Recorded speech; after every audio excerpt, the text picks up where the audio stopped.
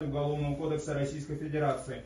Руководство статьей 108 Уголовного процессуального кодекса Российской Федерации постановил избрать обвиняемого Рачабализаде Саида Крами Мурадали меру пресечения в виде заключения под стражу, установить срок его содержания под стражей на один месяц 28 суток, то есть до 22 мая 2024 года.